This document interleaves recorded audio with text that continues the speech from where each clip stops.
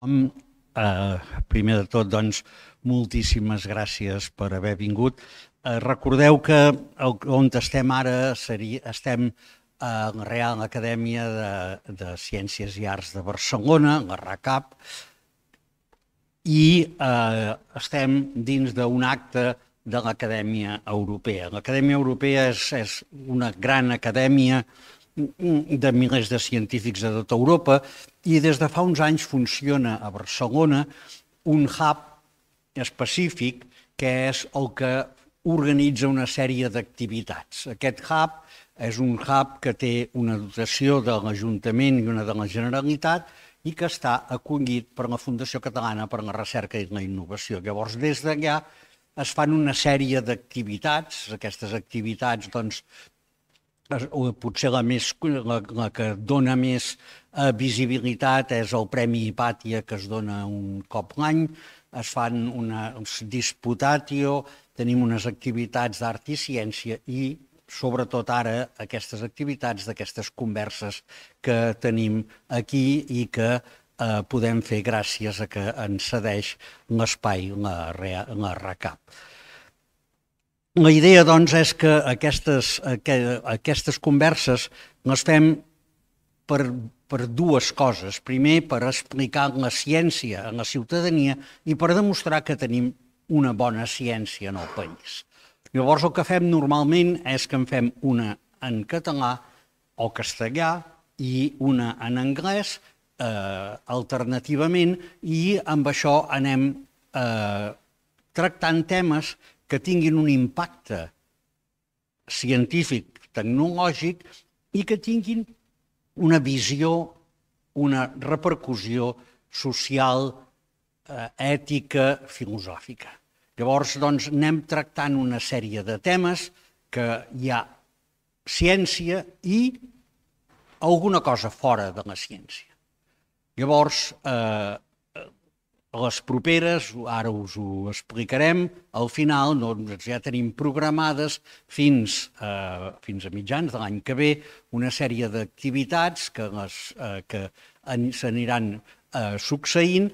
Potser el que té més interès és que farem tres sessions explicant els tres grans reptes de la humanitat actual segons el Harari, no? que serien el repte ecològic, el repte de de les tecnologies d'intel·ligència artificial i el repte nuclear del qual potser se'n parla molt menys darrerament. Avui tenim un dels que nosaltres teníem més ganes d'organitzar, que com veieu és cuina i ciència. Eh, com sempre, el, els diàlegs aquests, en el nostre cas, serà moderat, conduït per la Magda Minguet, i eh, ella serà la que conduirà l'acte i que ens presentarà els, eh, els ponents. Eh, la, Mar la Magda és periodista que es dedica a, a cuina i és eh, una persona que treballa en la revista Foodies i que és molt coneguda per als seus coneixements periodístics sobre cuina. Moltes gràcies. Sí, tinc un micròfon, em, em sentiu bé, no? I tant, i tant. Doncs d'entrada dir-vos que m'ha impressionat moltíssim aquesta sala, que és un luxe estar aquí perquè tinc bastanta experiència parlant amb xefs, però la veritat que el tema científic, jo que sóc una dona de lletres, m'ha vingut una mica que m'imposava, eh? perquè jo sóc historiadora de l'art, sóc periodista, però la ciència sempre sóc d'aquelles que vaig triar llatí. Vaig fugir una mica i he de dir que gràcies a aquests dos ponents, mentre preparàvem aquesta sessió, ells han fet que tot això fos molt fàcil, molt fàcil de preparar i crec que ens sortirà un diàleg interessantíssim. D'entrada us he fet una mica d'introducció dels temes que treballarem aquesta tarda i després us presentaré els dos ponents de luxe que us aportaran moltíssim, tal com han fet en aquesta preparació amb mi, que jo ja deia, això de la ciència no sé si m'encaixarà i he gaudit moltíssim ja només de la preparació sense sentir-los. Doncs com sabeu, la gastronomia està de moda, això és una realitat, i es parla molt de cuina de proximitat, cuina de temporada, de quilòmetre zero, però després es qüestiona molt com és que els tomàquets no tenen el gust que tenien abans. I el que fem és buscar restaurants on el producte sempre es tracti amb respecte, amb el respecte que mereix. Anem a la recerca d'una cuina que sigui honesta, i a més a més volem sempre que estigui vinculada al territori, que els productes i els productors estiguin alineats amb el xef. Doncs a banda de la recerca dels ingredients de qualitat, també hi ha la creativitat pròpia de cada cuiner i un tema que és imprescindible per la tècnica és el coneixement científic a l'hora de pensar doncs, en cada recepta i en cada elaboració.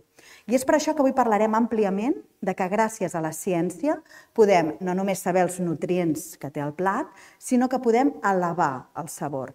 La cuina és una gran via per descobrir el nostre entorn i per això la gastronomia, el seu llenguatge, tots els processos, estareu d'acord amb mi que haurien de ser un dels motors d'aprenentatge a les nostres escoles, perquè no hi ha res més competencial que la cuina i no hi ha millor experiment que una recepta. Estem d'acord, no? Cuina a les escoles és més que necessari. De fet, s'ha popularitzat també, no sé si el coneixeu, és aquest llibre que us he portat, que és Lliçons de, de Química. Vaig tenir la sort d'estar amb l'autora, la, que va venir a Barcelona per Sant Jordi, i aquest llibre té una protagonista, que és l'Elisabet Zot, que és una química que als anys 50 no li deixaven treballar en un laboratori i va decidir fer un programa de cuina per acostar la ciència a totes les mestresses de casa que als anys 50 estaven als Estats Units i que quan els hi explicava la recepta els hi deia totes les propietats, totes les tècniques, ebullicions, punts de cocció per treure'n el màxim rendiment. És un llibre que s'ha fet viral, que ha costat molt la ciència a molts lectors que no en tenien coneixement i també fins i tot hi ha la sèrie. És a dir, que lliçons de química ens acosta ja gastronomia i ciència, com farem aquesta tarda. La gastronomia és una experiència també cada vegada més completa, que no es limita només al gust.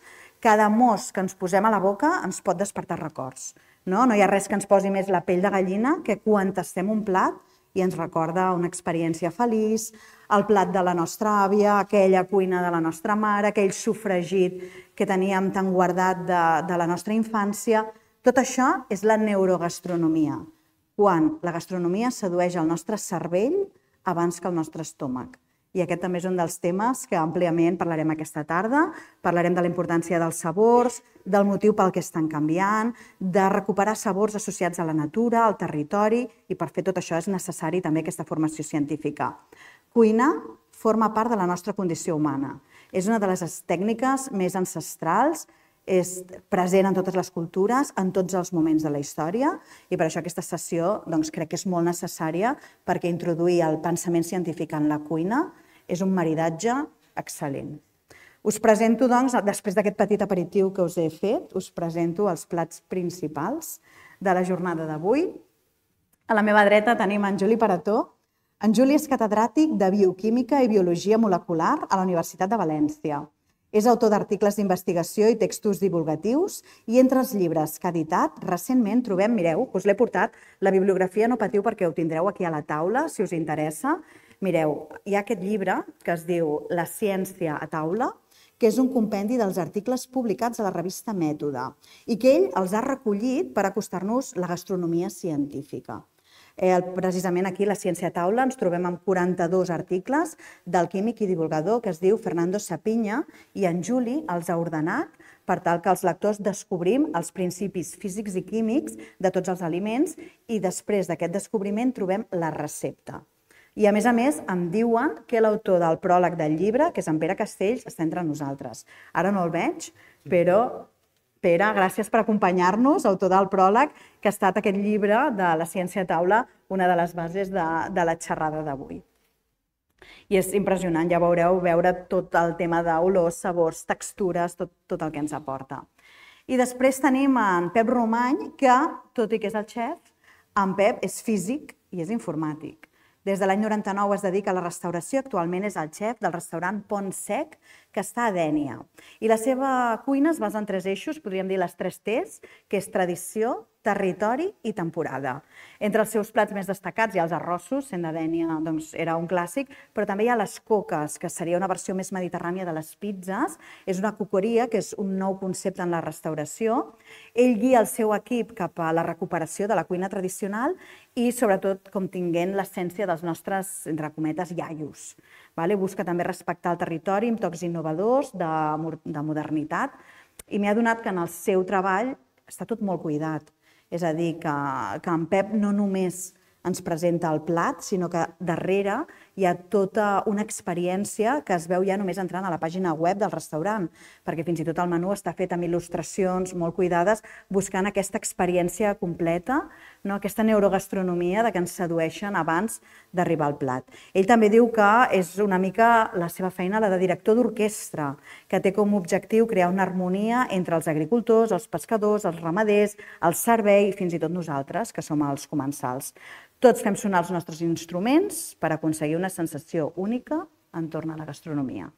És a dir, que ja veieu que és un xef amb una experiència completa de director d'orquestra perquè l'harmonia doncs, la gaudim en el moment que estem eh, en el seu restaurant, en el Pont Sec. Doncs, fetes les presentacions, ens agradaria dir-vos, també saludem, perdó, als que esteu en streaming, que ens estan seguint en directe en aquest moment, els saludem també des d'aquí, i m'agradaria dir-vos que això avui no és un menú tancat, sinó que no hi ha res millor que compartir taula quan estem en un restaurant o estem en un bon àpat, ens agrada molt el menjar, però ens agrada molt la conversa. És a dir, que si teniu aportacions, teniu ganes de dir alguna cosa, voleu fer alguna pregunta, no cal esperar al final, sempre enriquirà més el diàleg. Si en el moment teniu alguna intervenció per fer, doncs sou benvinguts a fer-ho. Ja us dic, no és un menú tancat, aquí tots podem intervenir, com més ingredients s'hi afegeixin, doncs això serà més sucós. I al final també podem fer alguna pregunta de recapitulació i els que esteu a casa també teniu aquí la pantalla, ens la feu per escrit i nosaltres la traslladarem als ponents. Juli, Pep, com esteu? Molt bé, molt bé. Benvingut. Molt bé, moltíssimes gràcies. Benvinguts, que avui heu fet un recorregut per arribar fins a Barcelona. Sí, doncs almenys el tren ha sigut puntual. Ha sigut puntual. Hem començat bé el dia. Molt bé, això, això no és científic. Aquests horaris no són científics, però hem arribat bé. Us agraïm moltíssim la vostra presència i sobretot us agraïm tota la preparació per donar el màxim contingut en, a, en aquesta sessió sobre ciència i cuina. Què us sembla? Primera línia argumental, desenvolupem d'entrada el producte. No? Què en podem dir de, del producte? Quina relació veieu entre producte i ciència? Qui comença? Sí, que estigui verd el llum, correcte. Bueno. Bé, bona tarda a tots. Bueno, a, a mi eh, M'agrada perquè l'acostuma, em diu chef, eh? és una paraula que no m'agrada gens, m'agrada més. En tant que el, el restaurant Pontsec no, no és una cuina, és un projecte, m'agrada que més que en diguen cap. Eh? Cap. Cap de cuina o cap, cap de cuina. del, del doncs, projecte. Però el cap de cuina, en Pep, comença Gràcies, la seva sessió. No, un poc perquè eh, entendre un, quan parlem de cuina i quan parlem de cuina i ciència, que, que, o ciència i cuina, eh, no, no, no sé molt bé quin és l'ordre eh, que, que entenem no? per això. Efectivament, el que un poc ens plantejava Jaume és que parlàrem, Juli i jo, en plan tertúlia, en la discussió amb vosaltres, que, eh, quina és la importància de la ciència en, en la gastronomia, en la cuina, i al revés, eh? que ha aportat la cuina o què pot aportar la cuina a la ciència, no? perquè són dos, dos mirades que són molt importants i que cal ficar-les en taula. Eh, en el, en el, en, quan hem parlat d'aquest tema ho hem comentat i ens, bueno, a mi m'agradaria que parlem d'això, eh, d'aquestes dues direccions, ciència a la cuina i cuina a la ciència. I, i llavors comencem, es comencem pel producte, no? El, el, què, què, ha portat la ciència a la cuina? Bueno, el, com ha dit, eh, entenc la cuina com una orquestra, entonces eh, l'orquestra es comença primer que tot en el, en el, la cuina es comença primer que tot en el producte i, i, quina, i quina és l'aportació que quan es comencem, vaig a fer un plat, vaig a cuinar una recepta, què és el primer que pensa? Bueno, pues a veure els ingredients, no? I el problema és que tenim una concepció dels ingredients molt asèptica. Eh? I aquí la ciència eh, ens ha aportat una cosa molt important i és el coneixement.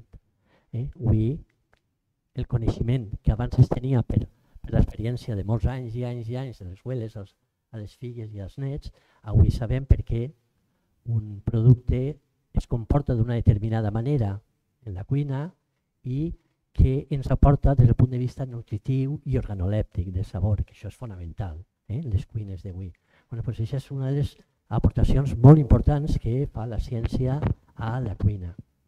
I és un dels elements que cal batallar perquè, perquè eh, en, en la cuina els cuiners, els restaurants d'avui, hem d'incorporar aquest coneixement als productes, perquè és que això siga immediatament una cosa, eh? en què el producte tenim que saber què producte estem treballant. Eh? Per exemple, moltes voltes no diguem, no? Vaig a fer un sofregit, dime, dime. No? Potser estem molt a prop, al, al micròfon.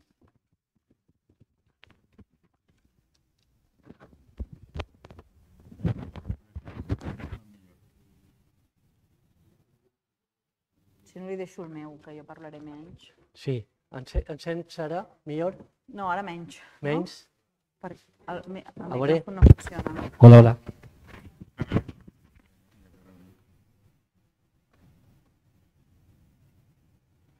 Sí, gràcies, perquè és important que ens sentim bé en aquesta, en aquesta sessió, l'àudio és important. A veure, ara, ara, ara és perfecte, ara és perfecte. Ara perfecte. Gràcies. Eh, estava dient que no, no recordo molt bé el que estava dient, sí, però... el producte es comporta diferent. En definitiva, el que la ciència aporta en el producte i en el conjunt de treball en la cuina és el raonament científic. I quin és el raonament el científic en la cuina? Pues el que es treballa en els laboratoris i, si és, i els científics treballeu, no? És allò de qüestionar tot, és allò de posar en qüestió tot allò que faig. I, I això és fonamental que en la cuina s'introduïsca, és a dir, les receptes no es facin perquè es facin, sinó que tot, tot es qüestiona en la cuina. Això és el que fa és o sigui, introduir aquest concepte, aquest raonament científic en, en el treball de la cuina és fonamental perquè la cuina és el que avui és i pugui evolucionar més enllà. No? I com dia, pues, el, el, crec que dia parlava de, del tema del producte, no? que dius, parlem del producte. No? Eh, mireu, perquè ens fem idea de, de, de què significa el coneixement el raonament científic en la cuina, nosaltres tenim un, un, com un sedàs. No? Eh, no entra un producte en la cuina del pont sec que no passi aquest sedàs. I aquest sedàs, estic animat ahir, aquest sedàs és una cosa que és l'acrònim que, qui, com, on. Eh? Quan treballem un producte, eh, ens preguntem què producte és. Quan treballem una tomaca, ens preguntem què tomaca és, perquè tomaques hi ha moltíssimes varietats, mils. Eh? Entonces, el primer que ens hem de preguntar és vull que una tomaca per a fregir, vull que una tomaca per a ensalar, vull que... Pues, eh, és preguntar-me si és per a ensalar, què tomaca, què varietat de tomaca vull, què... Eh? Però això en tots els productes. Les creïlles, teniu tots clars i sabeu que la creïlla per a fregir, la varietat àgria, eh, i si intenteu fregir una creïlla que no sigui la varietat àgria, vos eixirà una creïlla eh, fatal, fatal. Eh? És a dir, que la varietat, el què del producte, què producte estic treballant, el qui és qui el fa, aquest producte, l'origen del producte, qui el fa. Eh, tenim que tindre cara del producte, perquè si no, mireu, hi ha una frase que m'agrada molt i és que allò de que un cuiner que, que no sap el que cuina, cuina per a gent que no sap el que menja. Entonces, és fonamental que el cuiner sàpia què és el que té entre mans. No? I, I una de les coses fonamentals és posar-li cara al producte. Qui? Qui cuina aquest producte, el com, com està produït aquest producte, és fonamental, que, i més en, en, en l'època de l'agroindustrialització, el, eh, sabeu que és fonamental saber un producte com està produït, no? I l'on, que té que veure allò del quilòmetre zero, la proximitat, etc. Eh, on està fet aquest producte, no? Bueno, pues aplicar això és una mica aplicar el mètode científic, és una regla mnemotècnica molt fàcil per aplicar el raonament, el coneixement, el, el, el qüestionament científic en la cuina, perquè obliga a qüestionar-te tot allò que fas, no? I no sé si... Un poc sí, sí, està clar, més. està clar que és veritat que molta gent desconeixem doncs, que hi ha una patata específica per fregir o per la verdura, o per, no? igual que el tomàquet és diferent si és per amanida, si és per sofregit, si és per ficar al forn, i com deies, molts cuiners no saben el procés del què, qui, com, on, que també és el periodístic, eh? el, de, el de les 6 W, no? Juli, què en penses de, de l'aportació que ha fet en Pep sobre el producte? Bé, jo que conec eh, Ponsec eh, com a client, com a, client, com a, com a sí, sí, eh, puc assegurar que, que ell practica, no? el, el Pep practica aquesta, Cada producte, aquesta, aquesta tècnica, no? Aquesta tècnica, de, aquesta metodologia d'aproximació al sí. producte és possible que siga difícil extrapolar això en tots els casos, no? però jo crec que és molt important en el món actual que ens, ens plantegem, tant els professionals com els que cuinem a casa, eh, aquestes regles bàsiques, no? en el sentit de eh, d'on venen els productes, eh, quines característiques tenen. Eh, de vegades no és fàcil tenir, no sé, algú que et venga els peixos o es venga les verdures i que te sàpiga assessorar. Sí. Que aquest uh -huh. coneixement s'està perdent i, i els que tenim la sort encara de, de, de gaudir de, de, de persones que te poden assessorar en aquest sentit o que podem tindre accés directe o a través de, de, de, de, de mercat avui en dia electrònic que te poden portar a casa productes eh, directament dels productors, doncs és una cosa que és eh, quasi, quasi un luxe, no? un privilegi eh, avui en dia. Jo crec que és important eh, des del punt de vista de el, el, la idea de, de quin és el producte, qui l'ha fet, en quines condicions, eh, ens porta a la idea de que la cuina no és simplement eh, alimentar-se, no és simplement eh, manipular el producte per a que tinga unes característiques organolèptiques de sabor, els, les aromes, etc. És, va més enllà, és pràcticament una, una acció política, no? perquè les nostres decisions a l'hora de comprar aquests productes tenen implicacions. Aquestes decisions tenen implicacions socials i econòmiques. Eh, fi, jo, jo al meu verduler de setmanal del barri, eh, allà a València, eh, jo sempre li faig la mateixa pregunta. Com és possible que tingui raïm eh, en el mes de gener, no? I diu, no, és, de, és del Perú. No, no vull. Però és que n'hi ha gent que me'l demana. N'hi ha gent que eh, raïm, ha entrat sí. en la dinàmica de menjar de tot en qualsevol moment de l'any. La pèrdua aquesta de l'estacionalitat eh, doncs, ens ha portat a pensar que podem tenim dret, que tenim dret a gaudir de tot en tots els moments de l'any. Jo crec que això té unes conseqüències socials i econòmiques importants, ambientals, per descomptat, importants, i que no, no en som conscients. Jo crec que caldria parlar-ne més de quines són les, les implicacions socials, econòmiques i, i ambientals que té com ara tenir accés a tots els productes durant tot l'any. I, I això es deu a que hi ha aquest desconeixement per part de tant el venedor com el client de que no coneixem el producte que és de temporada o fins i tot a vegades, no, no sé si us heu trobat, vas al mercat amb una mica de por perquè dius, a veure si em preguntaran alguna cosa, perquè desconec tant el producte que si vaig a la peixateria i em diuen una part, si vull la tonyina de ventresca o vull llum, o sigui, no sabem gairebé res del producte i això ens intimida molt a l'hora de comprar. Bueno, jo, jo sempre estic disposat a aprendre, vull dir que la meva peixatera m'explica moltes coses, moltes receptes. Però perquè ho sap, moltes... no? És una clar, persona clar, amb bagatge, sap, no? Ho sap, i per tant me pot recomanar, eh, en cada moment me pot recomanar quins són els productes que, que, que són aconsellables o són, eh, estan en, millor, en, en el millor moment, no? I com preparar-los també.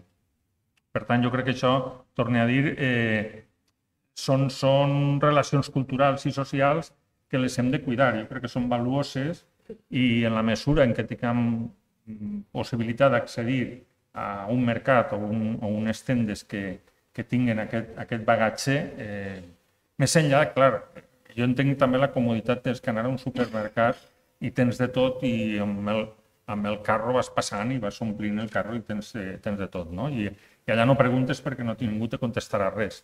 Eh, dir, se poden contar moltes anècdotes d'això, no cal entrar en detalls, però aquesta altra manera d'adquirir el producte o de cuidar el producte o de pensar en el producte eh, crec que és important per les implicacions, per les implicacions eh, socials i econòmiques que, que pot tenir. Sí, per tant, aposteu per una compra d'un producte conscient on mm. tots sabem què comprem, si és de temporada i a vegades és veritat que es parla de quilòmetre zero i diuen que quilòmetre zero és comprar al mercat de casa, i és el que deies.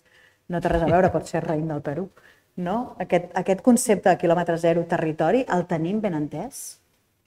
No. Jo crec que no, i a més hi ha molta confusió en això. No sé, el, el Pep, que té un hort allí al costat del restaurant, igual ens pot il·lustrar una mica més, no? però però se'n parla molt d'això del quilòmetre zero i, i realment Sí. i crec que hi ha molta trobo que- confusió. Hi ha molta confusió amb això, no? tema de quilòmetre zero, sí, és, fa uns anys es va posar de moda el fotografiar el cuiner al costat d'una carxofera, no? la carxofa al costat, ja, o en les portes de Carrefour o, o de Mercadona, pues sempre veus a, la fotografia a l'hort, el cuiner a l'hort, eh, i això no és quilòmetre zero. Allà, jo penso que n'hi ha en, en un concepte que és bàsic per entendre estos, estos, estos conceptes tan degradats avui en dia, com és sostenibilitat, temporalitat, proximitat, quilòmetre zero, són conceptes molt degradats. No Molt de màrqueting, no? Per, perquè queda la- bé. L'agroindústria ha sabut incorporar-nos al, al, seu, al seu tarannà, per així dir-ho, i, i, i ens ha, està, està, està conf, conf, vamos, confundint-nos en, en, en les propostes que es fan. No? Jo crec que hi ha un concepte, que és el concepte de biodiversitat, el que sustenta de forma honesta tots aquests conceptes de proximitat, sostenibilitat, perquè, vull dir, si jo al costat de casa faig, per exemple, no? jo faig una tomaca, que és una tomaca eh, d'una llavor d'estes que està produïda en un laboratori, eh, genèticament obtenida per la indústria, que tens que comprar-la perquè no trau llavors la tomaca, encara que la facis al teu costat, això no és quilòmetre zero. Això no és... Hi ha un concepte que és biodiversitat que en diu que si jo, per exemple, les tomàquets, que avui estem parlant de la Avui tomàquet... és el tema, no? Avui és el tema de la protagonista, no? Pues, sí. tomàquets, en, en, en, en, en el nostre territori tenim eh, 10, 12, 15 varietats de tomàquets per a cada època de la tomaca. És a dir, la tomaca primerenca, la que es fa a abril, maig, és una varietat de tomaca. La que es fa en juny, juliol, és una altra va- varietat de tomaca. Però són varietats autòctones, his- històriques, tradicionals nostres, no? Entonces, eh, a- així tenim tota la temporada de la tomaca diferents varietats de tomàquets. No? Entonces, quan jo en agost cuido una tomaca, cuido una tomaca que si vull que siga de proximitat, que se, té que ser, perquè és el més honest que n'hi ha, eh, té que ser d'unes varietats determinades, històriques, tradicionals, adaptades a la terra en la, que, en la que estem vivint, i això sí que és proximitat perquè és un concepte que sustenta el de biodiversitat, que el problema és que l'agroindústria vol acabar en aquesta biodiversitat, vol que treballem en les cinc varietats que per a ells són productives i que per a ells es donen diners. És dir, és canviar el concepte de mercancia o producte que ens alimenta i ens dona felicitat al menjar-lo per els sabors que ens transporta, o eh, aliments que són mercancies per a que certa indústria mundial, perquè al final ja és mundial, guanya diners. No? Però això, els conceptes es degraden i, i, i crec que és important aclarir què, què significa proximitat, què significa temporalitat. És dir, que, eh, com dia Juli, no? raïm enginyer pues, és difícil. Però eh, pot ser que el raïm enginyer aquí pues, el tinguem en forma de pansa. Eh? La pansa és un producte del raïm tradicional i ens aporta els sabors tradicionals i els sabors de tota la vida i, i, i les propietats nutritives i organolèptiques de tota la vida. I la pansa és un producte, el raïm sec, eh? suposo que coneixem la pansa. És a dir, per què hem de menjar el raïm fresc? Amb, amb, amb això el que arribem també a la conclusió que hem comentat no? és que si no és per el corte inglès, no sabem quan és la primavera i quan és el verano. No? I és primavera al corte inglès, claro. Ja ha arribat la I amb primavera. el canvi climàtic també s'està no, difuminant aquest concepte. els productes ja no tenen temporada, i dir producte de temporada, a veure, si jo em faig una tomaca seca en giner, és un producte de temporada, per supost. Vull dir que una tècnica tradicional i, a més, perfecta de conservació de, de, de, dels productes és, és la saladura, o el secat, no? La tomaca seca, o la tomaca de penjoll, és una tomaca que és perfecta, giner. I, i a més, no sols que és perfecta, sinó que m'aporta uns elements organolèptics, uns sabors, uns elements nutritius diferents a la tomaca fresca de juliol. I, i, i és una tomaca tan, tan espectacular. I per a cuinar i en la cuina, treballar en tomaca seca, eh, no sé si coneixeu, però és, és una meravella. Eh? És una meravella. Però coneixem menys que la tomàquet fresca, no? Eh, Efectivament, ens però a la indústria la tomaca seca no li, dona, no li dona beneficis, preferís produir tomaca fresca tot l'any Tot l'any. perquè... Bueno. També estan les conserves. Tu, si tens, m'ho has explicat moltes vegades, si tens una producció de carxofa o de tomaca eh, més enllà de les teves necessitats, a través de la conserva pots mantenir La conserva tradicional. Eh? la conserva pots mantenir, que això ja ho fan molt, en molts restaurants quan tenen un excés de producció en el moment.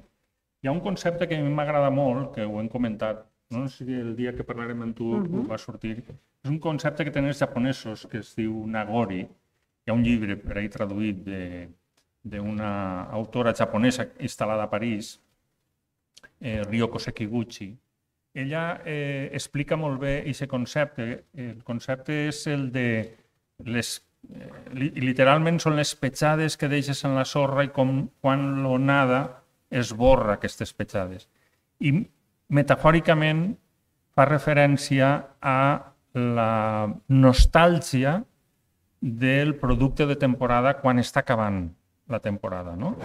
Jo ara, per exemple, puc començar a tindre nostàlgia de, de les carxofes d'hivern, encara que ara també hi ha carxofes d'estiu, però de les carxofes d'hivern, que està compensada per eh, les primeres bacores o les fruites de, de pinyol, etc que venen ara. No?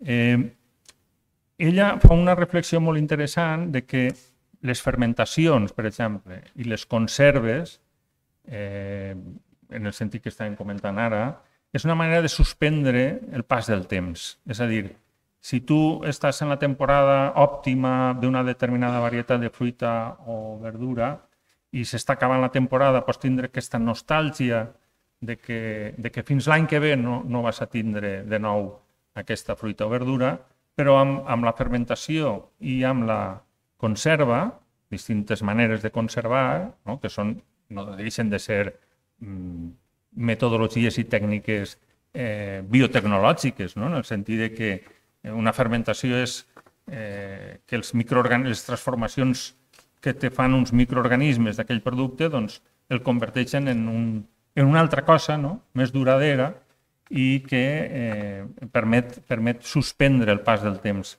productes. Jo, em sembla una idea molt, molt suggeridora de un poc com la, la, tornar un poc a aquesta estacionalitat dels productes, aquesta estima per el, per el producte de temporada i que no passa res si fins l'any que ve no torne a veure en el mercat un determinat bolet o un determinat espàrrec, eh, tinc paciència, me puc esperar. Eh? Vull dir, no, si, quan acaben els esparres blancs, que m'agraden molt, i ara estan en bona temporada. Ah, sí, d'aquí Peso, l'espàrrec, eh? eh? ara toca. No me passa res per esperar-me un any a tornar-los a tenir en el mercat. Tindrem, eh... tindrem l'enyorament, no? El nagori, sí, jo no? m'enyoraré, però, però no passa res perquè sé que l'any que ve en tindré també. Després, una cosa que deia el Pep, i és eh, què passa amb el canvi climàtic, no? És a dir, eh, si resulta que les quatre estacions que hem conegut tots eh, normalment eh, sí. van a convertir-se en dos, això encara no ho sabem, i els, fins i tot els, els, els científics del clima estan esverats no? del que està passant en aquest moment amb les temperatures planetàries i dels mars, doncs tot això pot canviar. Tot això...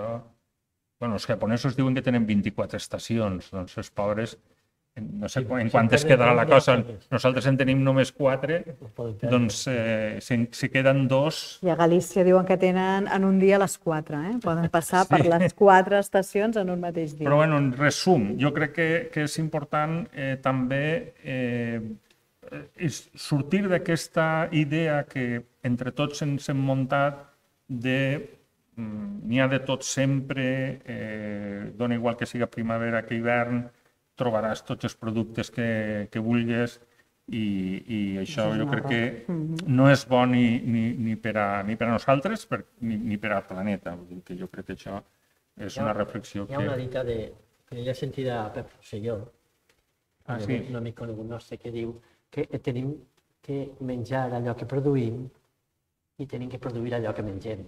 I no, i no cal complicar-ho. No? Que, que no t'he triat, eh, no sé, l'altre dia no sé on venia, el col·lectiu Xarcolan crec que dia, Marta Lavera, dia que el 84% de les matèries primes que entren en Mercabarna són d'altres indrets del món. 94%. Eh? 94, no, el 85%. Per favor. 85. Dels elements que entren en Mercabarna provenen d'altres indrets del món. déu nhi no té, no té cap de trillat. 85%. No té cap de trillat. Després ve el que ve perquè al final el que anem és el concepte de sobirania alimentària. Si no som capaços nosaltres mateixes de decidir què mengem i com ho mengem i per tant què cultivem, estem en mans de, de no sabem qui. Mm -hmm. Heu parlat també, quan parlàvem del producte, no, per no tenir aquest enyorament, hi ha tècniques de conservació, no? heu parlat de la fermentació, de la conserva. Això perjudica en el sabor? Hi ha un canvi en el sabor del producte? Hi ha un canvi en sabor, però no el perjudica. No el perjudica. No el perjudica, vull dir, eh, la, el vi, eh, si no fermentara, menjaríem mosto. Eh? Seria mosto, o sí. la massa, les farines, si no, si no la feren fermentar, no, no menjaríem el pa com és i, i els mils de versions que n'hi ha del pa, no? Jo crec que l'important de les fermentacions s'han posat de moda en la cuina, o les han posat de moda, com sempre, en la indústria, per allò, i sobretot en, en la cuina oriental, no? que, que ens han posat de, de moda. Però aquí al Mediterrani tota la vida hem fet fermentats, eh, hem treballat en fermentats. Eh? Els encurtits, les olives xafais, en, els encurtits en salmó, esa, en salmó de vinagre és un fermentat. El pa és un fermentat, les farines són uns fermentats. El que passa és que eh, el vi, la cervesa, vull dir, els fermentats és una cosa que, que, que es, es transforma sabors i a més eh, ens aporta nutrients diferents i, i importants quan, mm. quan un producte fermenta. No? Clar, canvia, eh, és el que dius, no? Eh, entonces, el, el que és important en el tema dels fermentats, des del meu punt de vista, és com sempre, eh, fermentats en mínima intervenció humana, per així dir-ho. Segur que estan de moda els vins naturals, que són vins eh, bàsicament en què els llevats que fiques dins del mosto per a que fermente el vi no siguin llevats externs que fica el, el, el del celler, sinó que siguin els propis bitxos, bacteris, els que fermenten el, el propi vi, no? els ambientals. Sí. El mateix en les farines, sabeu que està de moda el pa, eh, el pa en massa mare. La massa mare no és una altra cosa que en compte de ficar llevats que venen de, fonamentalment d'Holanda, estos de les panaderies externs, sinó que siga els bitxos, els, bacteris, els hongos de la mateixa farina i de l'ambient on fas el pa, és que fermenten eh, la teua massa. I això significa que això és el gran avantatge també, perquè fa més nutritiva i més digestiva la massa, el, el, el, allò de, de la fermentacions lentes. Ara estan de moda. Massa mare, fermentació lenta. No és més que aquest concepte. Fermentacions en bitxos propis de la teva farina, en una intervenció externa o de, de on, i fermentacions lentes, perquè, perquè la farina, els bitxos en mengen en efectivitat, doncs, tot allò que fa poc digestiu i poc nutritiu la massa. No? És dir, que són conceptes que, com dia Juli, fonamentals perquè ens arrelen al territori. Eh? És dir, que el bonic, el bonic del coneixement científic i del pensament científic que qüestiona allò que fem és això, que al final ens arrela al territori. Els grans enemics o és que, és que utilitzen la ciència per a imitar allò que passa en la natura, eh? o allò, aquells processos naturals que els imiten, però no es milloren, eh? el que fan és imitar-los. Aquest és el problema.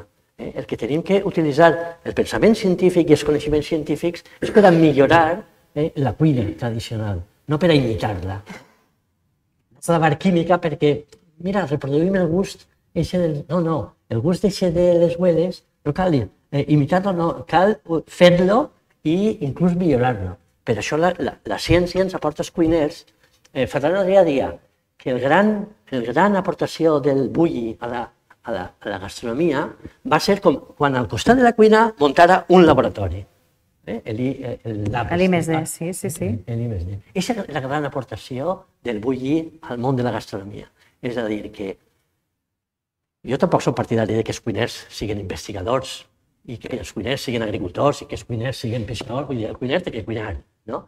Però té que tindre aquest pensament que jo pense que és el que caracteritza els científics, és eh, posar en qüestió tot i, i el coneixement, i, i incorporar a la teua feina el coneixement, no? I, bueno, eh, el dia Ferran Adrià i és així, eh? és així. És dir, cada vegada més, o almenys el que ens aporta a la, la cuina, a la gastronomia, eh, els, els, estos estrelles Michelin, l'alta cuina, és justament això, i, i engarcem en les elaboracions. No?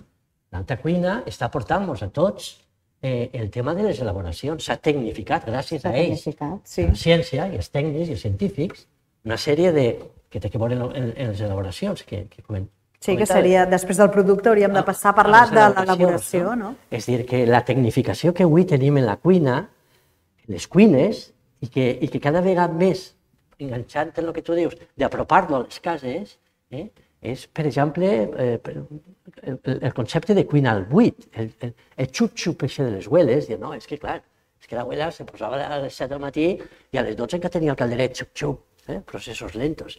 Pues bueno, la, la cuina al buit, eh, la cuina a baixa temperatura, no és més que una millora, és una millora, no una imitació en ganes de... És una millora de la cuina del xup-xup, és dir, quan tu cuines al buit, eh, al vapor, un producte envasat al buit, elaborat a baixa temperatura, a 70, 60, 60 i 70 graus, durant 12 hores, eh, estàs millorant el que la, lo que la, l'abuela feia en el xup-xup, perquè a més ho tens envasat al buit i tots els aromes i tots els sabors es, queden allí, no? Uh -huh. eh, l'abuela ho feia en el calderet, en la tapaora, i quan alçava mirava, però és que ara això ho podem ho millorar, millorat. no? Uh -huh. la, la tecnologia, la, la ciència ens ha portat a la cuina, a la gastronomia, un, un, uns instruments o, o, per exemple, els abatidors de temperatura.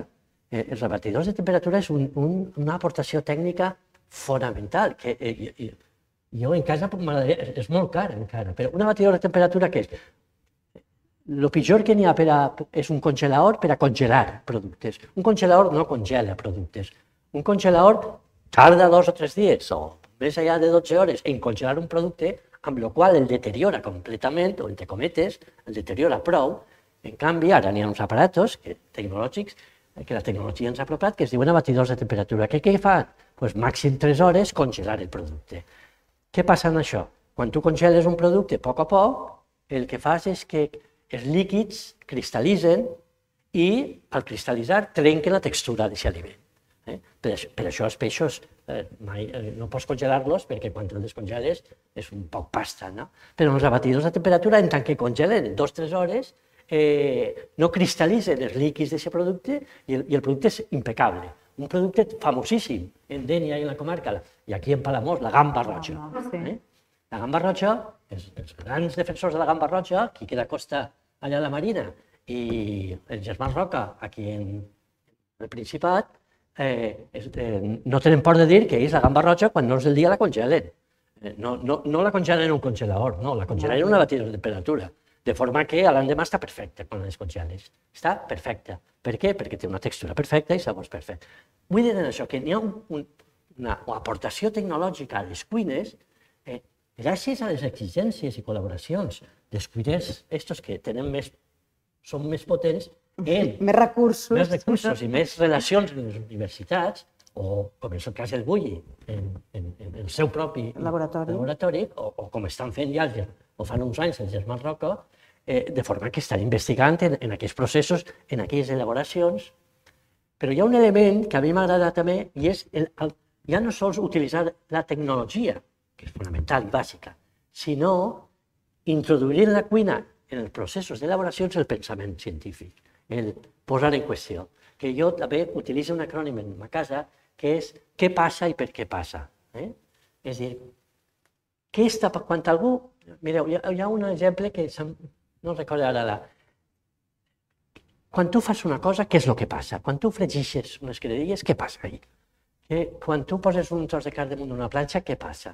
Quan tu fas una croqueta, què passa? Saber què passa. Perquè una cosa que era d'un color ara és una altra. Planteja què és el que passa.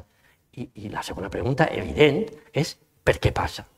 És que introduint el pensament científic en la cuina, en els processos d'elaboració, anem a avançar Bum, que en definitiva és el que han fet l'altra cuina. És el que va fer Ferran Adrià en el seu moment, és el que va fer Santi Santa Maria, és el que està fent eh, Carles Ruscadella, el que estan fent els germans Roca, el que fa Duris és plantejar-se contínuament allò que és el que estan fent. No?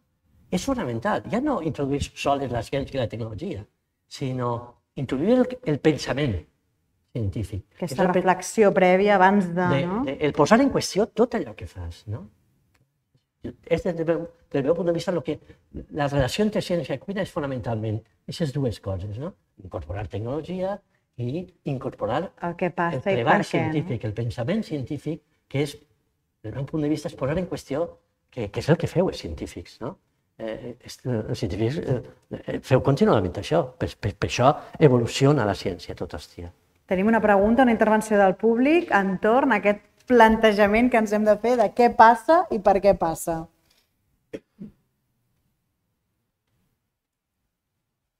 Hola, mira, és una pregunta des de la ignorància, però mm, això de la cocció a baixa temperatura implica el plàstic i escalfor?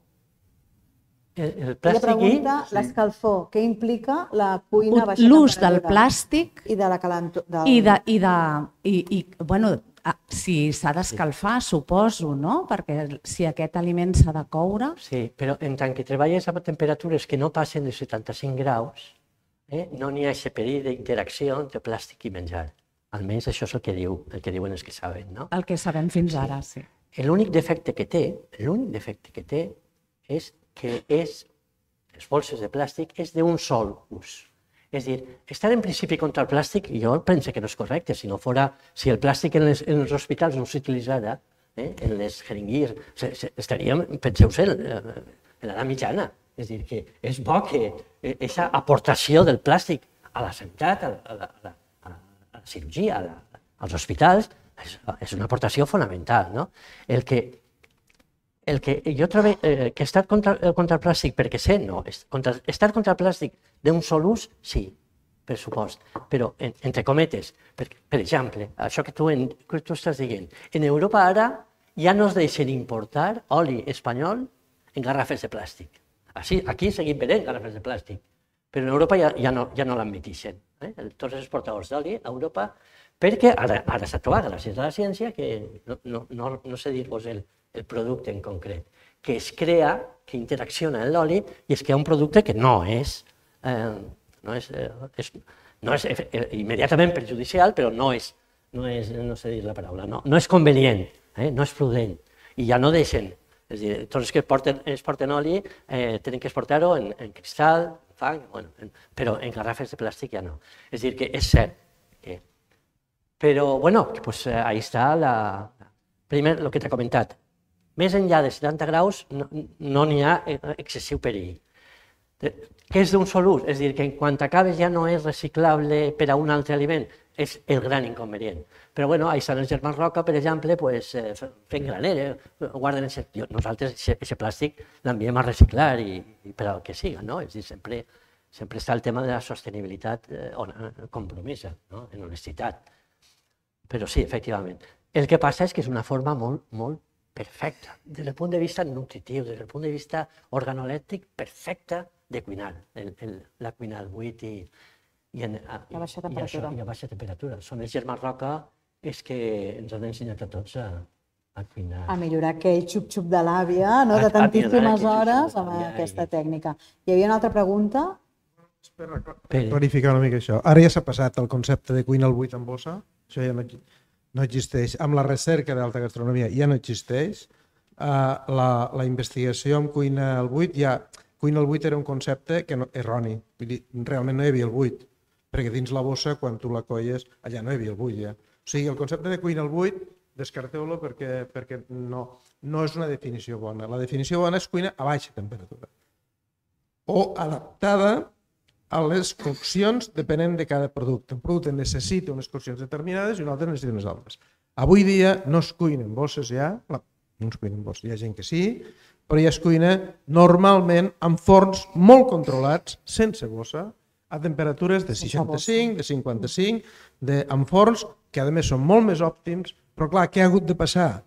Desenvolupar uns forns que exactament ens coguin a 60 graus, 75 graus. I ja existeixen per l'ús quotidià. Evidentment tardaran en arribar a les cases, però això és una qüestió de, de temps.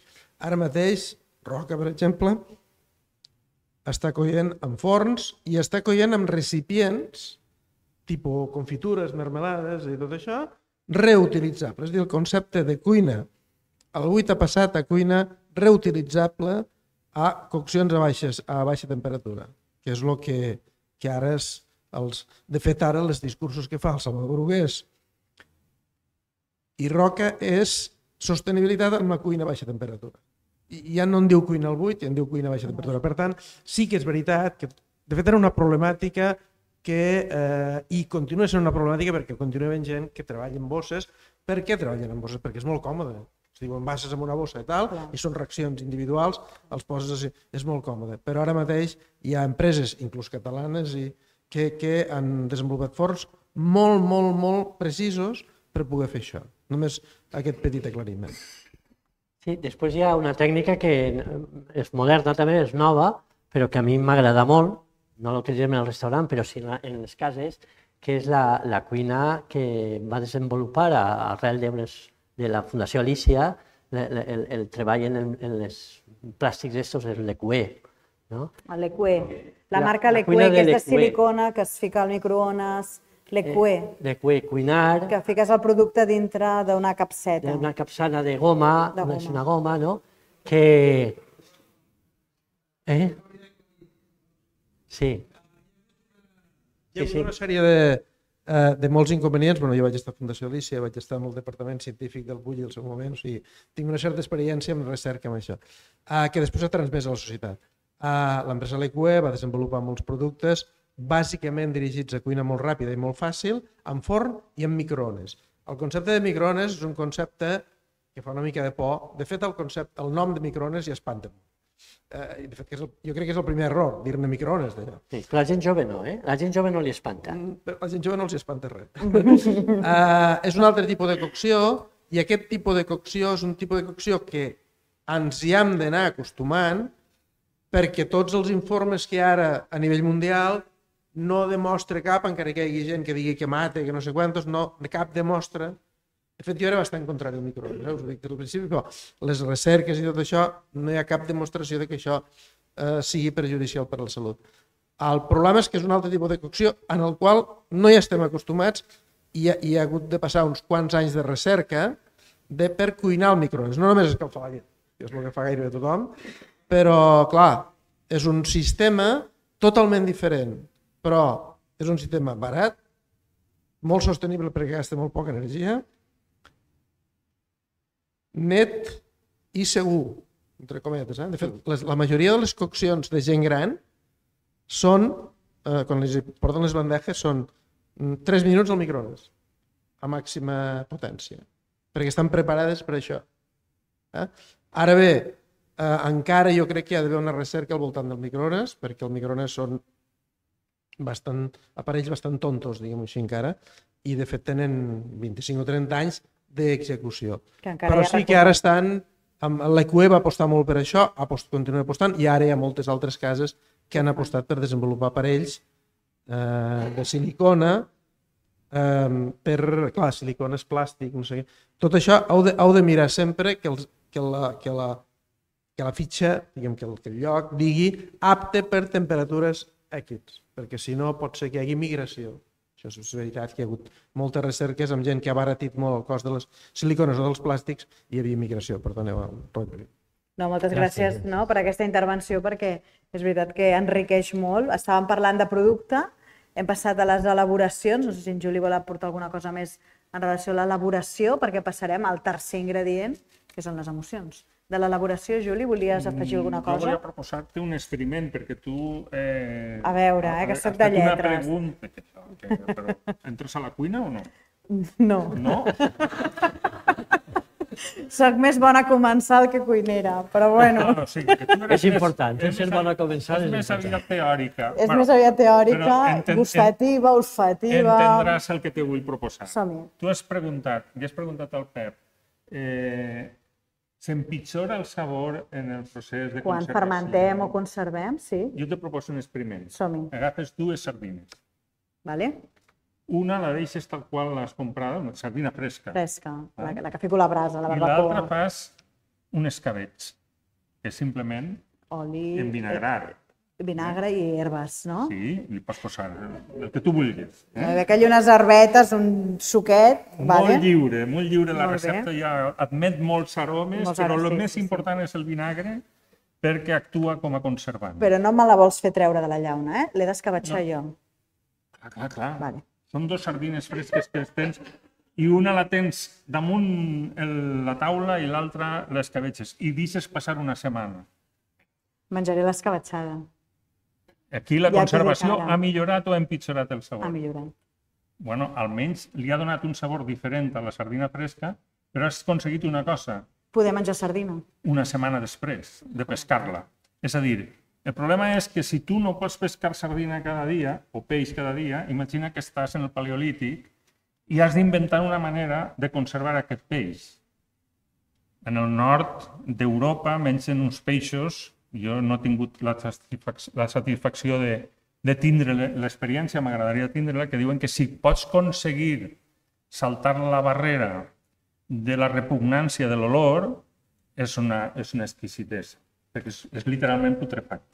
Gairebé com els formatges, no? Has de bueno, poder arribar... Hi ha gent que no pot, no pot ni olorar-los, no? El que vull dir és que amb les fermentacions i amb les conserves tipus escabeig o altres tipus de conserves que s'han desenvolupat al llarg de la història, el que has aconseguit és la conservació.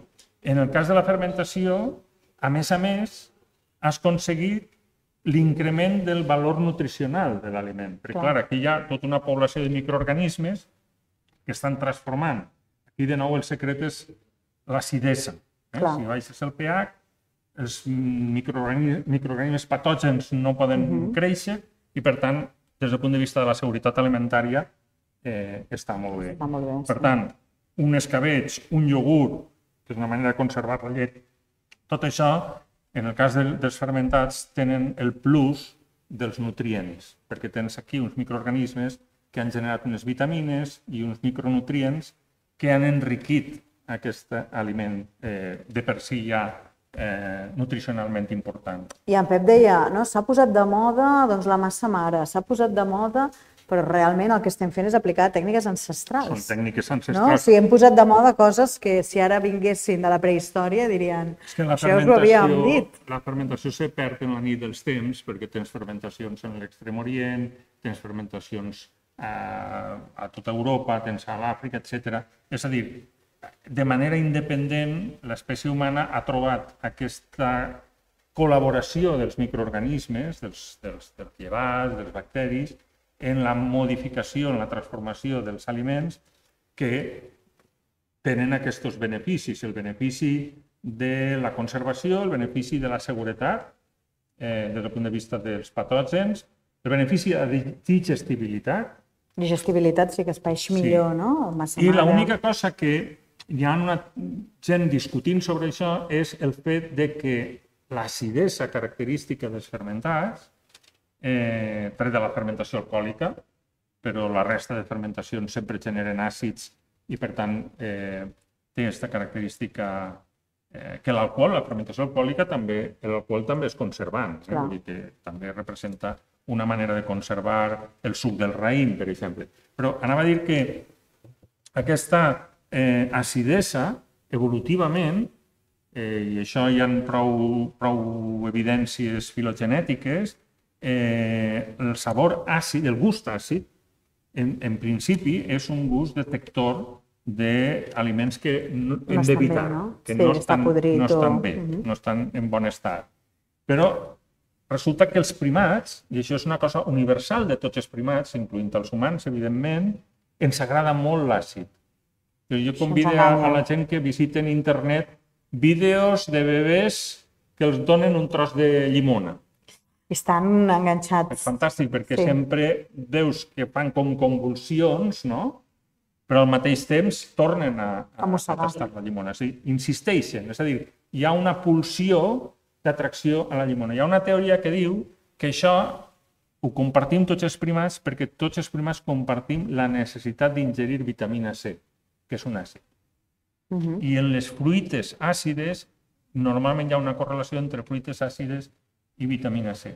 De manera que aquesta necessitat per un nutrient, un micronutrient essencial com és la vitamina C, s'ha associat a una pulsió cap a l'àcid que probablement en termes evolutius originalment mm, més aviat el nostre cervell hauria representar una aversió cap a, aquesta, sí, sí. cap a aquest gust. Que és el que dius, no? Un nadó hauria de rebutjar, però, no? però segueix torna... queixalant sí, no? sí, aquesta sí. necessitat. Aquest, aquest impuls innat. Doncs hem parlat de producte, hem parlat d'elaboració i ara anem a parlar del tercer ingredient, que són les emocions. No? Com és d'important el que desperta en nosaltres aquest producte, aquesta elaboració i com cada un de nosaltres rebem de manera diferent no? el mateix plat. No? Això què es deu?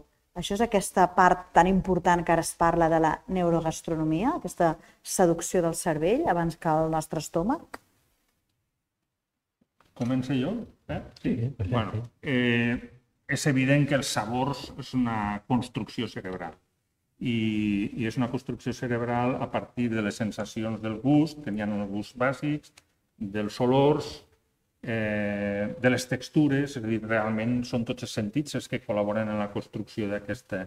I el que és curiós és que quan s'ha investigat la, el substrat neurològic de, de la sensació del gust, per exemple, els nervis que capten totes les sensacions dels gusts eh, bàsics en la boca, eh, en principi, eh, arriba un punt en què es bifurca la senyal i va a dos territoris del cervell diferents. Val. Un que seria el territori purament sensitiu, que me diu dolç, no? identifica aquesta sensació amb dolç, i un altre que va a un altre territori més emocional, més del cervell emocional, que em diu endavant.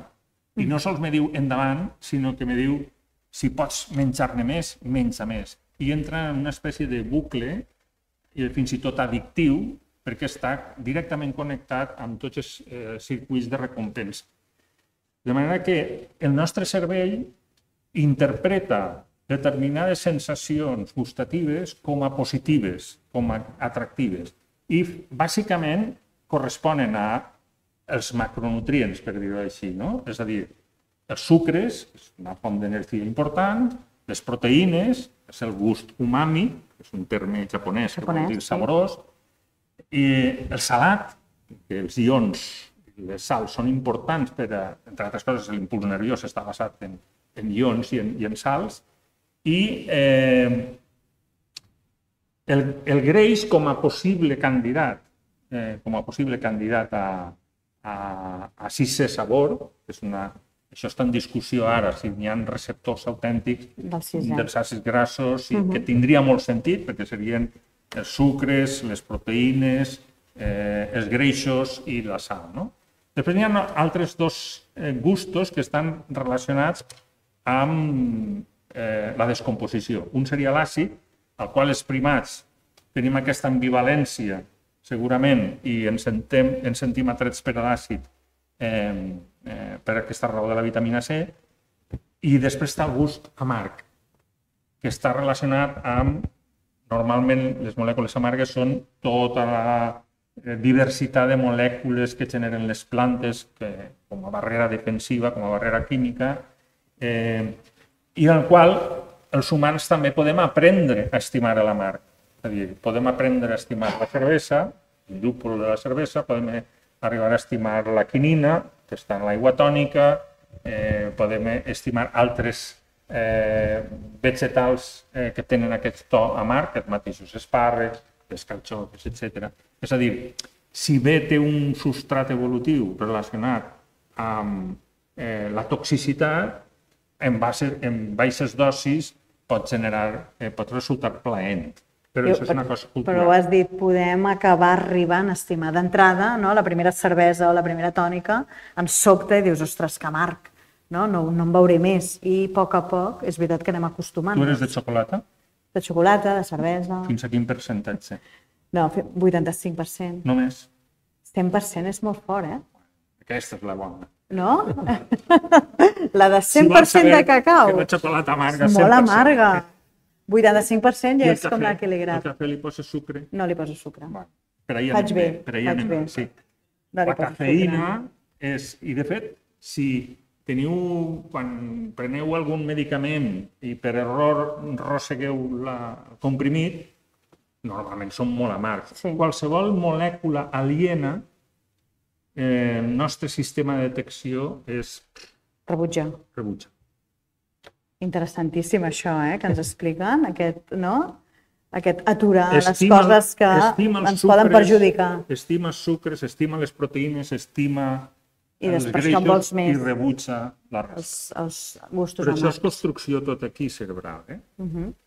I el cap de cuina també ho pensa això, en aquest relat, en aquest missatge que... El context, també. No, el context, és veritat. No? Sí, Això també ho penseu a l'hora de seduir aquestes emocions, aquest tercer ingredient. L'aportació de la neurogastronomia és qui més ho va posar en evidència a, als sabors és Antoni Luis Aduriz, el, el cuiner este del Mugaris, que fa uns anys ja va dir públicament que existeix un sabor dels productes o dels plats que és el relat. És dir, que un producte o un plat servit en un restaurant, si té un relat honest, evidentment, eh, ja, te, ja tenim, el cervell ja es predisposa a trobar-lo bo. No? Jo he fet pràctiques en el Pontsec, moltes ho he comentat. Allí tenim un hort allà al costat i un any eh, vaig plantar eh, planta moltes tomaqueres i per a l'estiu, que hi ha més gent, i, i un any dic, vaig a plantar moltes tomaqueres per a, que, per a fer conserva, no? Però com a ple d'estiu, resulta que és quan ve tot el turisme, doncs no vaig tindre temps de fer conserva. I llavors dic, a veure què faig jo amb tanta tomaca. Mm. I, pues bueno, em va coincidir en el relat i, i hi ha dues coses en la tomaca que jo crec, la Universitat de València o la de la, o Alacant, no sé quina, va fer un estudi sobre per què la tomaca d'abans era millor que la d'ara, això que diuen tots. No? Hi ha dues coses bàsiques. Una, que una tomaca maura en planta no té res que veure en una tomaca maura en la càmera. I dos, que la tomaca per baix de 12 graus, ara no recordo exactament la temperatura, 12 graus, eh, és dir, una tomaca en la càmera perd al voltant del 80% de les seues característiques organolèptiques. Bueno, pues jo, això va coincidir en aquesta sobreproducció de tomàquets i vaig dir, bueno, pues ja està clar, vaig a fer una cosa. Vaig a, a posar una, una carta, un plat en la carta que es diga tomaca de la nostra horta. I el que feia era, quan la demanaven, eh, anava a l'hort, la collia, estava calenta per ple d'estiu, la tallava per la meitat, dos veritats que treballava, les posava del mig del plat i jo avisava així i avisava, dic, aquesta tomaca està calenta, perquè tot la tomaca fresca, aquesta tomaca està calenta perquè no toca càmera i a més té un sabor especial perquè no, no està maura, es volia maura en la planta. No? Bueno, pues, només en aquest relat, eh, la tomaquera, bueno, la veritat és que també posava una trampa, i és que posava una fulla de tomaquera, que a nivell de, de, de, de nas eh, te pega una, una castanya gran. No? Entonces, eh, eh, pues, pues va ser un èxit, vull dir, un, un èxit perquè contava la història, esta de que per 80, no sé què, que està collida, està calenta, aquest relat ja, ja tenia guanyat al començar, és a dir, la trobava bona ja. El fet és que, de fet, eh, eh, vull dir, vaig acabar les tomaques en, en, en, en tres setmanes. En tres setmanes Home, si expliques tot per... això, dius, porta'm tomàquets, sí, perquè, clar, evidentment. No, I uns altres, dia, a voltes recordo que eixia en la tomaca i, i jo, estava, jo estic en la cuina, eixia en la tomaca i ve el, de, el que estava a la taula i deia, tu ja t'he contat la història. I deia, no, no, és que t'he vingut perquè la contes. Vull dir que el relat és, és, és evident. Bueno, a, a Dureza ho justificava més perquè havien fet estudis en la Universitat del País Basc, crec, en, el, en els temes del vin. Bueno, i després el, el, el xicot, el neuro, neuro, neuro, neuro de Galícia, de Galícia que ha estudiat la, la neurogastronomia.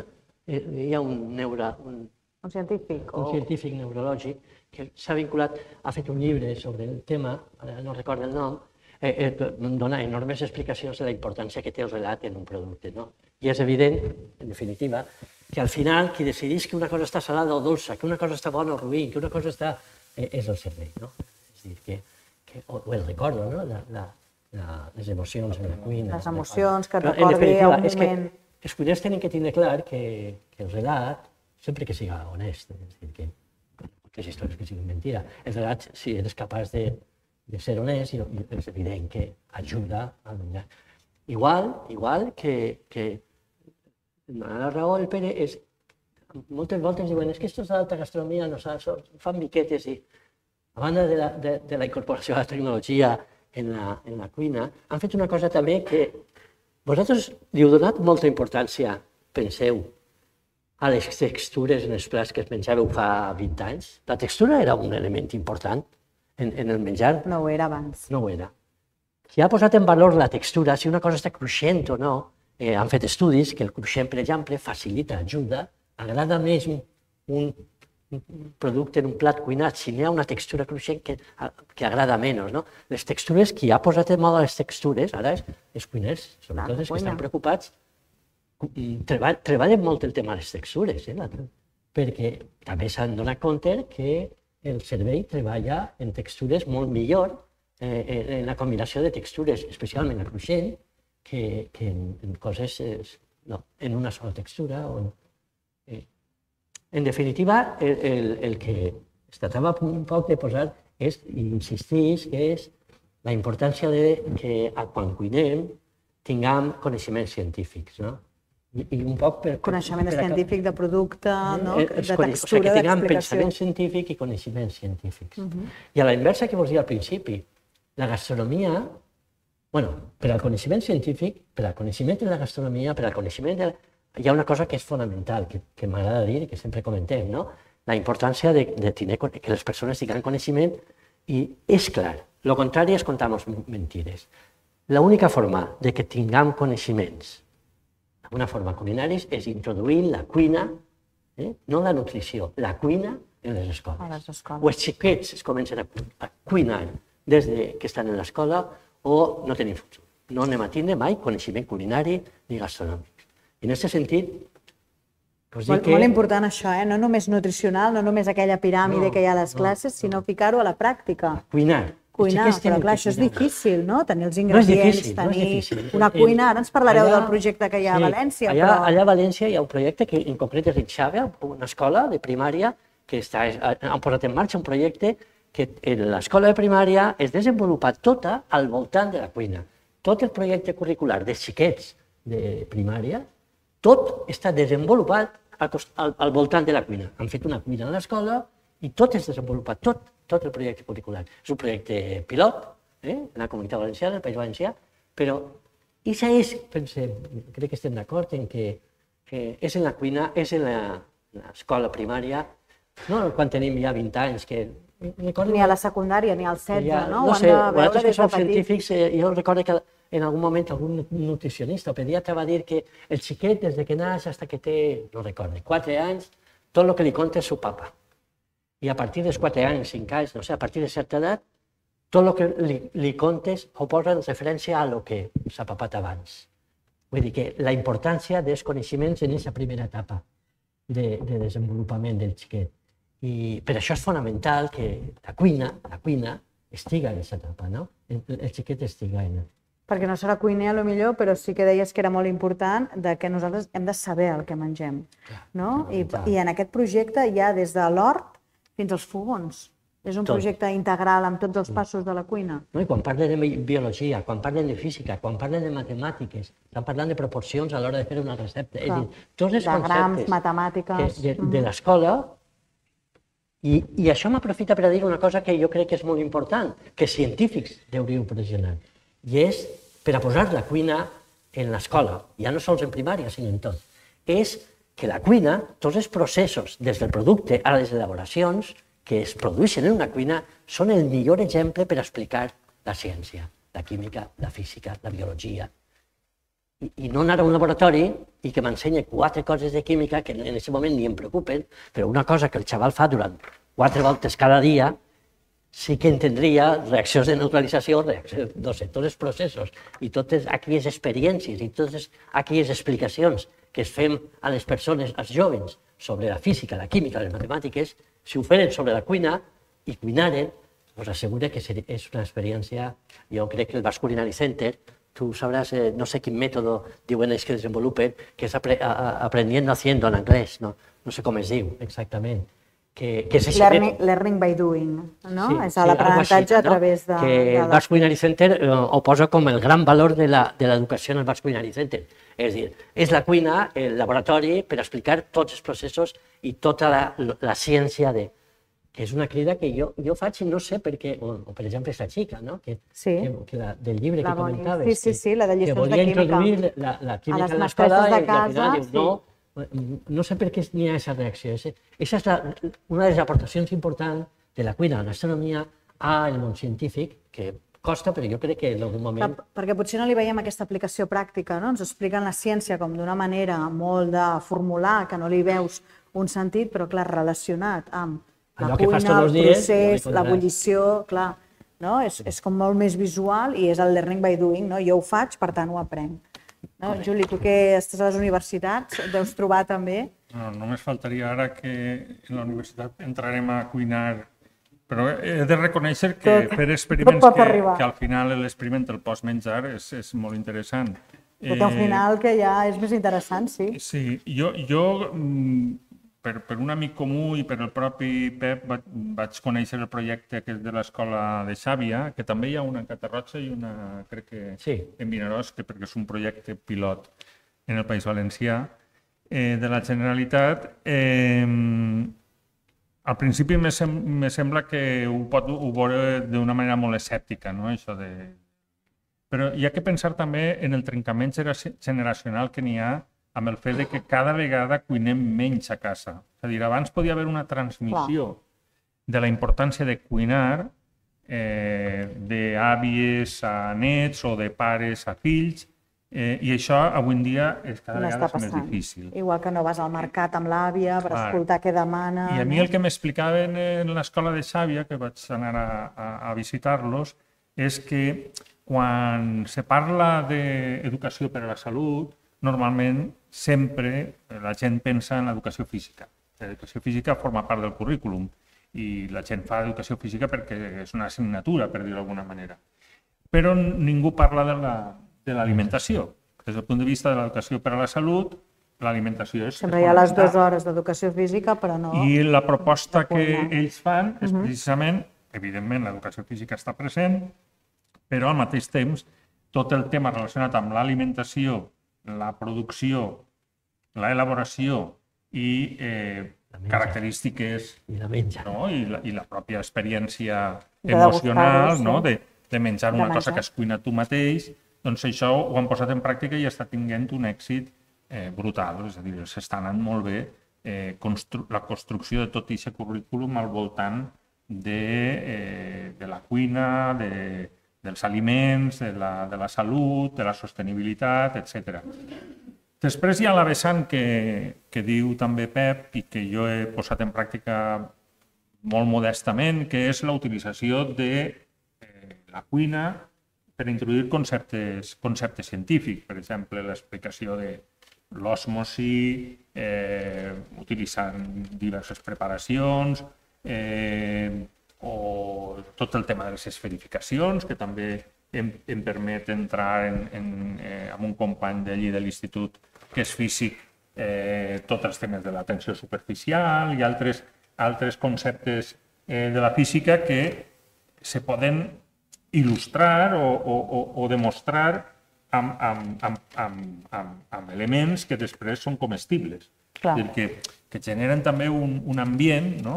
més lúdic, per dir-ho d'alguna manera, de que tu estàs fent un experiment i després simplement el resultat de l'experiment te'l pots, Te'l pots menjar. menjar. Eh, jo crec que és una eina molt poderosa, això eh, fins i tot la Universitat de Harvard ja ho va, ho va veure així, i van organitzar uns cursos que han tingut un gran recorregut, després eh, en internet i en forma de llibre, on convidaven a grans cuiners de tot el món, començant per el Ferran Adrià i seguint per molts altres, i que eh, si tu veus el llibre, per exemple, que és producte d'aquests cursos, és un curs de ciència, és un curs realment de ciència, el que passa que està totalment eh, il·lustrat per receptes i explicacions dels processos que estan passant durant, eh, durant aquestos, eh, d'aquestes elaboracions. Per tant, jo crec que és una eina molt poderosa, eh, molt propera, perquè qui més i qui menys, Clar. doncs, eh, amb les degudes precaucions i la petita formació necessària pot, Pot en les seues pròpies mans pot fer les, les elaboracions i, i, i des del punt de vista d'introduir conceptes científics, nosaltres ho hem fet eh, tant en públic escolar com públic general i la veritat és que funciona molt bé. Doncs, doncs prenem nota perquè això segur que tots els científics que estan avui aquí aplegats veurien una manera pràctica, dinàmica, competencial d'acostar la, la ciència i després que tinguéssim aquest relat per poder transmetre el coneixement gastronòmic a la taula. Eh, sembla mentida, però se'ns ha esgotat el temps. M'han dit que acabéssim a un quart de vuit. M'agradaria doncs, concloure aquesta sessió. No sé si hi ha alguna intervenció més per part del públic, si teniu preguntes per als nostres ponents, per a Pep Romany, per a en Juli, tu. No sé si algun valent vol afegir alguna cosa. Eh, Sempre a vegades esteu més tímids. En pantalla no en veig cap, però aquí, aquí és veritat que algú trenca el gel perquè et donaran el micro. Només un, un, només un punt que no me'n puc estar. Uh, Pep, uh, has admès que entrés la ciència um, des de tots costats Però, en canvi, a l'hora de parlar de fermentacions, has, diguem-ne, rebutjat del tot manipulacions genètiques de microorganismes que ho puguin fer. I em costa entendre-ho, perquè si, si nosaltres fem, de la mateixa manera que podem canviar una temperatura, podem canviar un genoma. Per què un genoma no? Eh, eh, estic d'acord amb tu. Jo el problema que veig a aquest tema és que si aquestes manipulacions el que fan és produir-les la indústria, en poc, en poc, vull dir, eh, depèn de, en mans de qui estigui això. Eh? És, per exemple, el tema de les llavors. És dir, si manipulem genèticament... bueno, el tema de les taronges, que allà a València, avui o compres taronges i pagues la patent de la varietat de taronja, o, o, o, o, perquè a més és la mateixa indústria la que crea les mm, varietats genètiques que la que després compra. De forma que les taronges que tu has pagat la patent, aquestes són les que tenen venda. I els llauradors d'allí van de puto cul perquè quan paguen una patent, als 4 o 5 anys ja no es venen les taronges. Tenen que tornar a comprar una altra patent, que són les taronges que es venen. Vull dir, jo estic d'acord en això, però això té problemes. Primer de prudència, que jo crec que algú de vosaltres ha anomenat el tema de la prudència eh, sanitària, no? quan, quan, quan tu fas modificacions, eh, per així dir-ho, antinaturals o, o, o, o, o vamos, provocades, eh, prudència de què implicacions té. Però segon, és que el problema és, és, és, és això en, en massa que queda. És a dir, si jo planto una tomaca de tota la vida, la llavor és pública, no paga ningú. Si jo plante tomaques produïdes artificialment o des de la indústria en variacions genètiques i en unes varietats que són produïdes per aquesta indústria, tinc, no tinc llavors. És a dir, cada any tinc que comprar les llavors. Eh, pues, pues, eh, preferís les genètiques naturals, les, les, les adaptades a cada territori que les genètiques industrials o, o que la ciència ha creat. Però no estic en contra de que... De, de, el, eh, eh, hi ha un problema, jo estic d'acord amb tu, però... Sí, hi ha una altra pregunta. De tota manera, és un tema, Pep, que tu i jo no hem no, acabat de parlar. No, no he eixit mai aquest tema, però tenim tres hores de tren de tornada que per desenvolupar-ho. Per, perquè dona per a tres hores, com a mínim. Hi ha una altra pregunta aquí al davant. Bé, m'ha agradat molt tot plegat, sobretot això que és com un experiment. Lo de cuinar és com un experiment, que, però que al final, si et surt bé, te'l pots menjar. Això és genial, és sí. Fantàstic. Jo pensava, quan parlàvem de la neurogastronomia, m'he recordat de, de la Magdalena de, de Proust, de, no? Que de la Magdalena en el llet i venen el record. el retrotrau a la infantesa, no? Uh. -huh. que és fantàstic, el poderosa que pot ser eh, les propietats uranolèptiques. No, no sé si, si, perquè és clar, el calaixet de les percepcions sensorials i el calaixet dels records estan separats, en el còrtex, però separats. No sé si se sap el mecanisme neurològic que connecta una sensació, una percepció sensorial i, i un record. No? Sabia, no sabria donar-te una explicació específica a la pregunta que fas, però la interconnexió cerebral és una cosa molt demostrada i efectivament el paper de la memòria, ara Pep ens parlarà, vols parlar de Camagava o ho dic jo? Que, és que estem llegint, ens recomanem llibres i s'ha traduït al català no? dos novel·les eh, d'un autor japonès, que és la història d'un restaurant de Kyoto, que fan de detectius. De manera que tu vas allà i imagina que tu vas tastar, ta mare te preparava un fricandó eh, d'unes determinades característiques i tal, o un restaurant que tu has visitat en algun lloc, i ells fan una investigació i al cap de dues setmanes te reproduiran en el restaurant aquell el plat. plat.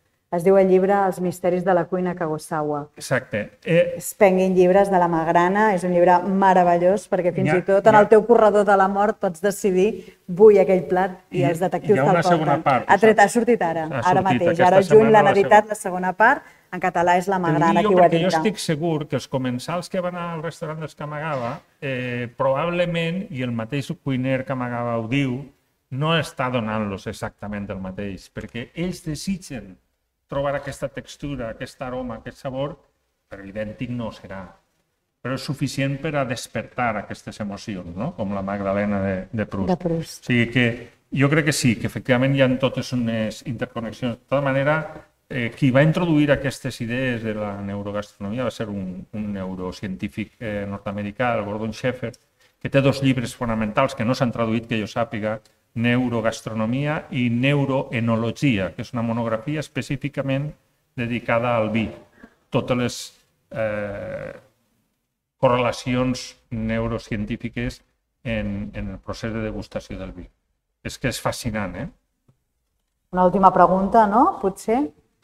Pere, gràcies per ser-hi. S'acomiada. Volia marxar discretament i l'he saludat. No va? Sí va. Sí. sí va. No, jo volia fer una pregunta sobre les olors. Uh, a mi em va cridar molt l'atenció fa uns anys, passejant pel, pel, pel mercat de Goyacán, a Ciutat de Mèxic, que els productes feien molta olor, bona olor. I aquí et passeges per, fins i tot pels mercats, pel mercat de Sant Antoni, pel Ninot, i, i, i veus muntanyes de, de maduixes i no, no, no fan no olor de res, les tomàquets ja no, no parlem-ne. Llavors, um, clar, les olors tenen una influència molt important, cognitiva i, i afectiva, uh, tant com els sabors. Llavors, us sembla preocupant que estem perdent en el nostre món la, la, la, aquesta, la percepció olfactiva dels productes? Jo, jo crec que sí, vamos, preocupant, no? Preocupantíssima. Ah, tu anar a una pescateria i no fa olor a peix, és terrible. Dius, eh, d'on ve este peix, no? En les pescateries del Corte Inglés, on diu, bueno, de qualsevol cadena de distribució alimentària, les pescateries no fan olor a peix, o les carnisseries no fan olor a car, o les, l'estant de formatges no fan olor a formatge. És, és terrible. O sigui, vull dir, eh, en quin criteri, com, com, com compres, com... com eh, no, no, no pot ser, això no, eh, vull dir, això no és, no és natural, no? Vamos, pense que és fonamental la, la percepció per el nas, la percepció del, de l'aroma és una percepció bàsica per a construir un sabor. Per què creus tu que no fa tanta olor? Per què no? Perquè, pues, per, per, primer perquè posen no sé quantes colòries ambientals. Els ambientadors, vols dir, de l'espai, no? I, uh -huh. i, I després perquè jo, bueno, pues, jo dubtaria, dubtaria de que molts dels peixos no estan tratats Eh, jo recordo la, la famosa gamba roja a Dènia, tota la vida, quan estia la gamba, per a que no es fera negra, li posaven àcid bòric. Eh? I, I no passava res, hasta que algú va dir, senyores, eh, ja s'acaba de posar àcid bòric. Vull dir que segurament en, en estos llocs algun tipus d'element ficaran per a que allò no faci olor, però tampoc és l'objectiu de que no faci olor. El que, que... Però bueno, són cadenes que tenen molt estudiat eh, a millor si fa olor a peix, la gent no hi ha. I entra, és que furtó, no? És veritat, no? I entra el rebuig. O les carns, que no facin olor a carn. És terrible. Doncs no sé si hi ha alguna altra intervenció. Crec que hem après moltíssim. Ara sabem per què els nens volen seguir menjant llimona. Ara ja sabem per què enyorem les carxofes a l'agost. Hem fet un recorregut molt ampli de producte, de tècnica i sobretot d'emocions i jo crec que d'una manera molt entenedora, molt pràctica, molts exemples, ja sé que he de menjar xocolata 100% a partir d'ara, cafè sense sucre, d'una manera molt dinàmica ens han acostat doncs, la ciència a la taula. Moltes gràcies, Juli, moltes gràcies, Pep, per tota la vostra aportació, per aquesta preparació i pel vostre coneixement. Moltes gràcies a tots els que ho heu fet possible.